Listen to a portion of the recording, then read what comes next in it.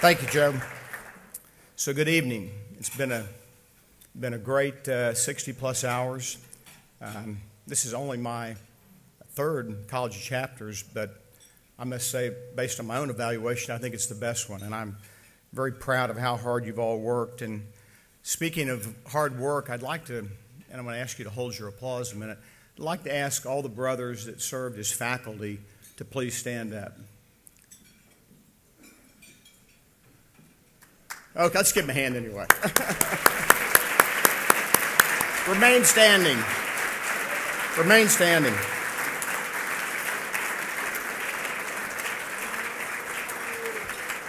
Brad Beacham, to you and your staff, please stand. The whole staff, what a great bunch of guys, hard working. Give them a hand.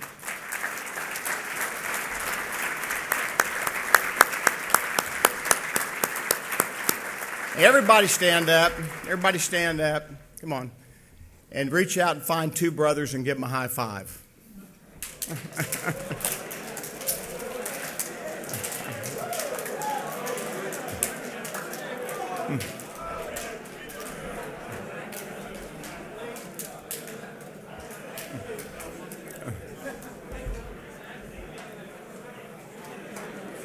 Good work. Good work, good work. A lot of positive energy. Um, before I get into my, the meat of my comments tonight, um, I really thought it'd be appropriate. I know some of you probably heard these numbers before, but to point out the power of the Greek system in this country, and I guess in some cases in Canada. There are 8,000, excuse me, 800 college campuses in America with 5,600 uh, Greek chapters and 305,000 active participants today. That would be men and women that are active uh, in colleges and universities around the country. There's no doubt that the Greek legacy is deep and wide, and I'm sure these numbers change from time to time, but roughly 50% of all um, Fortune 500 CEOs came out of the Greek system. Big number. 42% of the U.S. Senate, 44% of American presidents, 31% of Supreme Court justices, and for sure two generals, right? Um, so, anyway, I just point that out because, you know, we're Sigma Nu, but we're part of a much bigger organization. I, am very optimistic about the future of, of, of Greek life. I think that Sigma Nu is leading the way as a great example of how to do it right and I think College of Chapters is the, the, the, the way we uh, connect and become a role model for the rest of the Greek system. As you, I think you're aware, every uh, year, excuse me, every other year, because we have Grand Chapter every year, when the new regents uh, inducted every other year, we convene as a high council and revisit the plan that had been agreed upon by the, the uh, last High Council. And um, one thing that was so great about working with Robert Durham, and, and for the most part, very much the same High Council, except for the, the collegians, was that we really were aligned. Um, and we spent a lot of time together, had homes in Atlanta together, and he did such a great job, as did Joe Gilman, uh, you know, getting us headed in the right direction. So when it came time for us to reevaluate and revisit the uh, strategic imperatives, it wasn't that hard of a work, uh, work. We really did it in one day. The strategic imperatives didn't change, but some of the action items behind them did. We wanted to give them a little more clarity. And so I encourage you, we've been talking about the strategic imperatives all week, but I just have to, um, to repeat them. And the reason for this is it, that I really wanted to repeat them is because it became clear to me as we were interviewing the uh, candidates for the High Council that they all had different views of which one was most important. And the reality of it is they're all important. Uh, you know, the first one is chapter strength. That's the imperative. The action item behind it is Sigma Nu will assist its chapters in achieving organizational excellence. Excellence through education. Sigma Nu will assist its members in ethical leadership development and achieving personal growth. Alumni engagement. Sigma Nu will identify and engage alumni to support the success of chapters, develop per- perpetual uh, fraternal leadership, and increase the value of lifetime membership. Recruitment, Sigma Nu will consistently increase its membership through an innovative, values based uh, recruitment program. And reputation, Sigma Nu will preserve and further its reputation as an organization uh, devoted to excellence.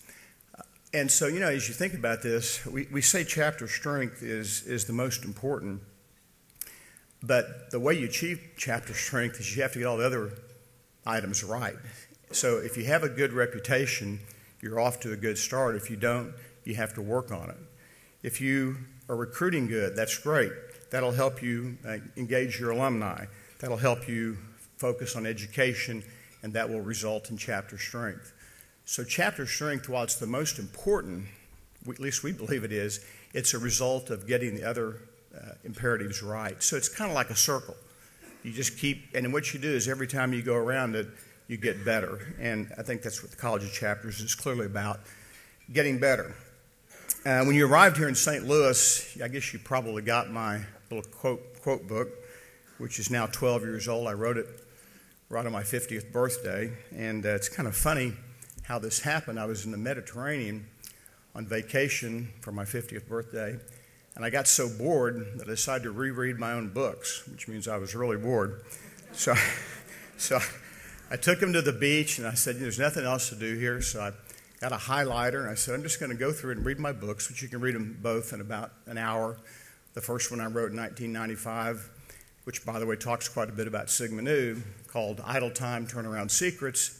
And then in uh, 98, I wrote Mapping Your Legacy, a hook it up journey. And so, anyway, I decided to get a highlighter and just go, go through and just highlight anything that I said in the books that uh, was original. And for some crazy reason, it turned out to be 84 quotes. And so I thought, well, that's good. I'll, make a, I'll write a book called 84 Quotes. So I, I did and I published it, and it, I've been giving these things away for years, and I think it's in its sixth printing. And uh, so, anyway, if you have a chance, take take a look at it. But what I decided to do tonight was take the uh, seven quotes out of the book and use those as examples for what I think Sigma Nu is all about. And if you happen to read the first page in the little book, which you, by the way, you can read it in about seven or eight minutes, which I know everybody likes quick stuff. Um, I use the word values is an acronym for vision, purpose, accountability, consistency, commitment, uh, sustainability, and goals. So I use that acronym, and when I when I ordered the quotes, I put I put the quotes under vision that I thought really represented vision. Put the quotes under accountability that I thought represented accountability. So let's start with vision. By some crazy number, it happens to be quote number one. And it goes like this, and I think you'll see it on the screen. In order to create a viable vision, you must first answer one very fundamental question What do I really want? And, you know, that's a big one for me. Um, I think vision starts with forming good habits, um, health, hygiene. I remember um, being a uh, candidate at Epsilon Epsilon, and we were very disciplined about cleaning the house, about keeping our rooms clean. All the blue shirts went together, all the white shirts went together. If the closet was big enough, there was one finger between each of them, and it was very military, very organized, and a good habit to form. Elevate your spirituality and hang around the right people. Those are some ways that will help you start to create a vision because your vision is going to come from who you hang around. It's going to come from who influences you. If you want to be a doctor, if you want to be a lawyer, you have to find, if you want to be a coach, if you want to be whatever you want to be, you have to find that through other people and relationships. Purpose. What organizations need is a mutually agreed upon set of reasons as to why they're going to connect as individuals, form a team, make a difference in their personal and professional lives. This is an easy one, guy. Guys, this is the Creed of Sigma Nu. To believe, let's repeat it if we can. To believe in a life of love, to walk in the way of honor, to serve in the light of truth. This is the life, the way, and the light of Sigma Nu. This is the creed of our fraternity. I think it's our purpose. I think that's the purpose of Sigma Nu. And I think it's the only creed that has the word love in it, uh, which I think is one of the things that attracted me so much to Sigma Nu. Accountability. We often find ourselves in situations where we clearly know what's right and, and simply don't have the guts to step up to the plate and make the right choices. Um, life's about choices, and there's always a price to pay for a bad choice. There's not always a reward for a good one, but there's always a price to pay for a bad choice. That price might come in the afterlife, uh, but you will pay it. And it just takes one bad choice to really mess up your life. And so think about that. Um, hazing is an example of a bad choice. Alcohol abuse is an example of a bad choice. Don't do it. Um, Sigma Nu, as you know, we all know, we've talked about it for three days. We're the only fraternity founded on anti hazing. So let's honor our founders and think about them. Don't do it. Role models don't sing mixed, messages between what they say and how they behave. Um, you know, it's, it's uh, easy to form bad habits. It's very difficult to form good ones. I'm told it takes 21 days to form a habit. I, I think that's good habits. I don't know how long it takes to form a bad one. But I think consistency, consistency is um, best described through goal setting. And just a little tip on how I run my life, and I got this from the guy that hired me out of college, Bud Team. I keep a tablet. It's yellow. It's been yellow for 44 years. And uh, I have a list A, B, and C. And A is what I got to get done for the day. B is what I got to get done for the week, maybe the month. And C is what I got to get done for the year or long term. So B and C lists seldom get, you have your list. By the way, if you ever have a list, I'm sure you all have lists. But anyway, you should have a list if you don't. But if you do, have you ever realized you didn't write it on your list and so you already did it and you write it down and scratch it off? I hope uh, if you have a list, you do that because I do it. But you know, it's funny about writing writing goals down. I have a quote that's in the book: "What the mind can believe and conceive and write down, it can't achieve." And this is a very important, simple tip. We don't write anymore. We don't use handwriting like we used to. It's a different world. When you write something down in your own handwriting, particularly a goal, then, if you show it to someone that respects you and you respect, and make a commitment, I'm going to do this. Maybe like Cindy said, well, I'm going to lose some weight. So write it down. She said, get out of here. that's, a joke.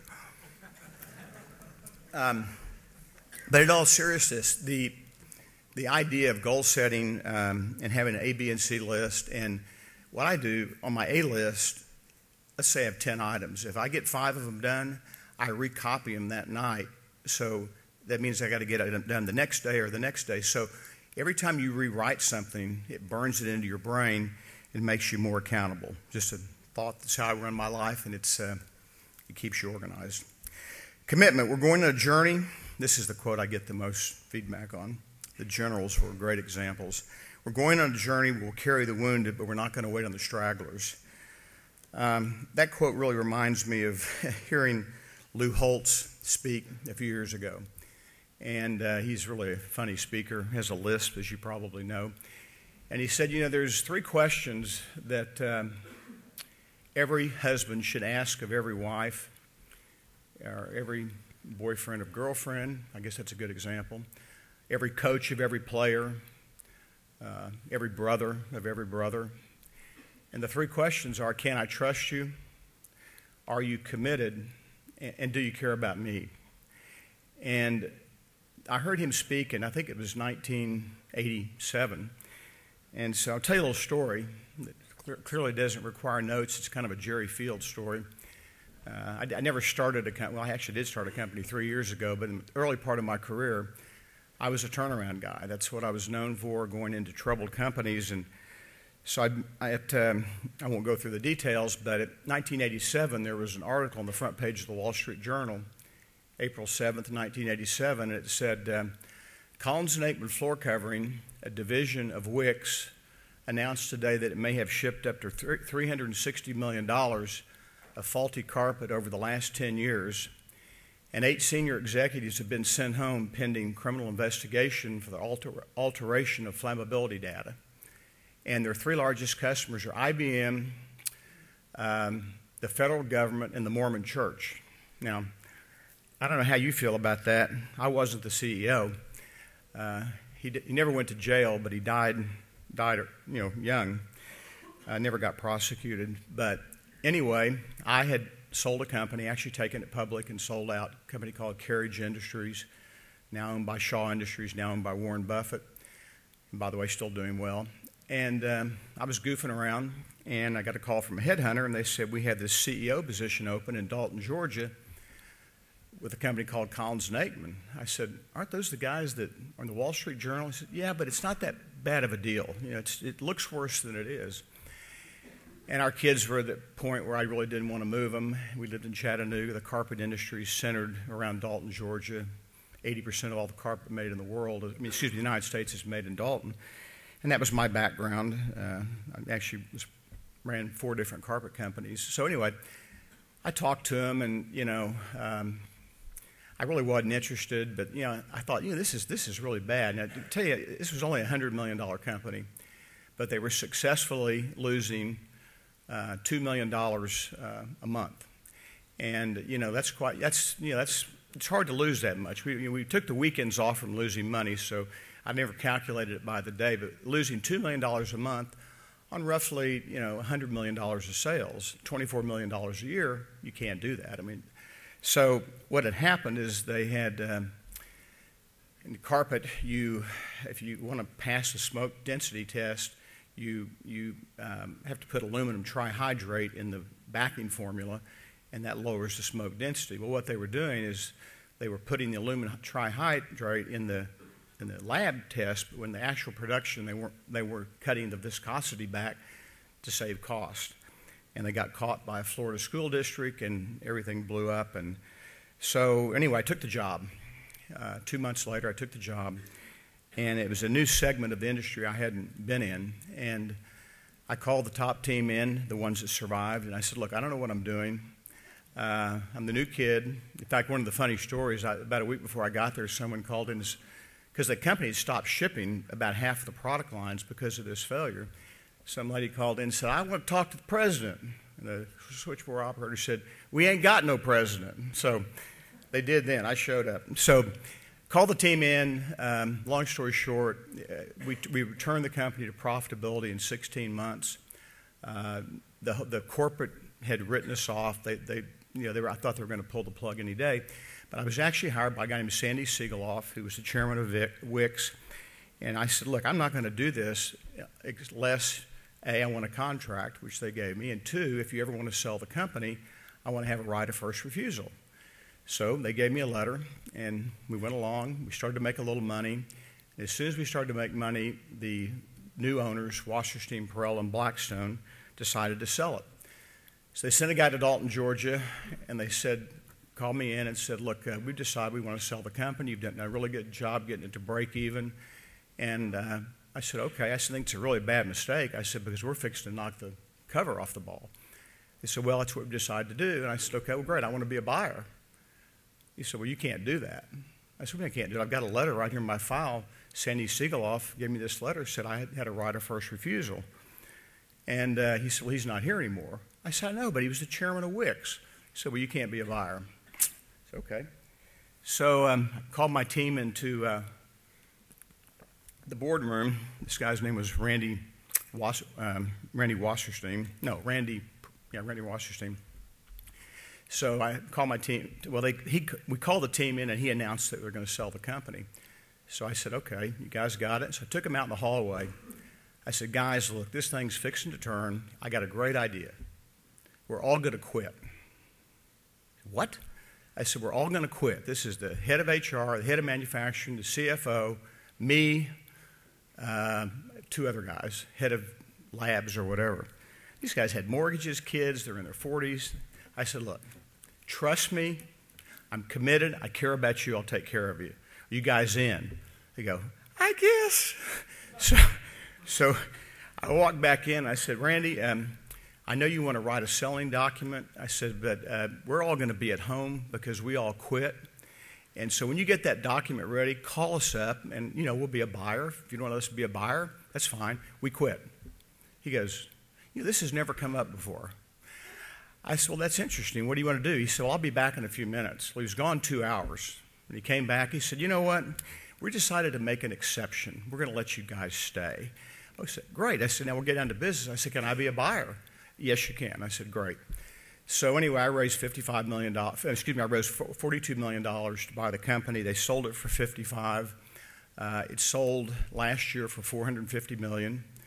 Uh, it's been sold three times. It's the only remaining business in Collins and Aikman, and they're making about 45 to 50 million dollars a year on about 300 million. So, and I made almost nothing out of it, by the way, because I was later hired away by Interface, their biggest competitor. But when it comes to, you know, sometimes you just have to stand by your team, and, and they did it for me that day, and I'll never forget it.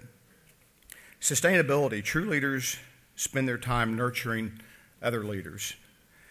Um, you know, that's to me all about recruitment. And in order to be sustainable, we have to recruit. Um, you know, examples of the power of one, you can look at sports, you can look at RG3 or Peyton Manning, or you can look at men in this room or other men, brothers that are not in this room, that have almost single handedly resurrected a, a chapter that was either you know, gone or in deep trouble. And we have numerous examples of, uh, I mean, at Texas Tech, I think you, think you were down to three or four brothers. And Brett Hardy, one man, a former member of the High Council, made a big difference goals. People who set, people who are driven set uh, lofty goals and usually commit themselves beyond their natural ability. And I think that's kind of what Jerry was talking about. You know, what would you do if you knew you couldn't fail? Um, you know, I'm an, I'm an average guy. I was an average student. I came from an average family, um, you know, but I just went for it. And I think goal setting is really important. Uh, the reason people don't set goals, I think, mainly is fear and I fear that they'll fail. And the reason you don't write things down, the reason you don't show, often show your goals to other people, is for fear of fail. I call fear feelings and emotions that appear real. It's like you went to MSU, you're making stuff up, and that's what you do. You make stuff up and you create these imaginary obstacles, so try to let those go.